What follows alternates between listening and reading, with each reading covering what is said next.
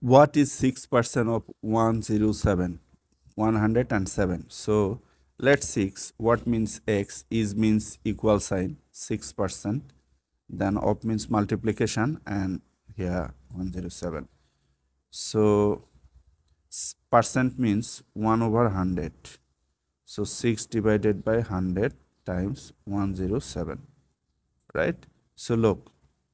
You can rewrite this. You can take a hundred here just rewriting.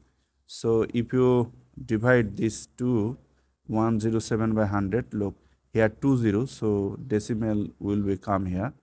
So 1.07 if you divide this by this 2 zero decimal point will come here. So now multiply 1076 look 6 times 7 42 okay take 2 and carry over 4 here. 6 times 0 0 plus 4 4 then here's uh, 6 times 1 6 look after decimal we have two digits so 1 2 6.42 is the answer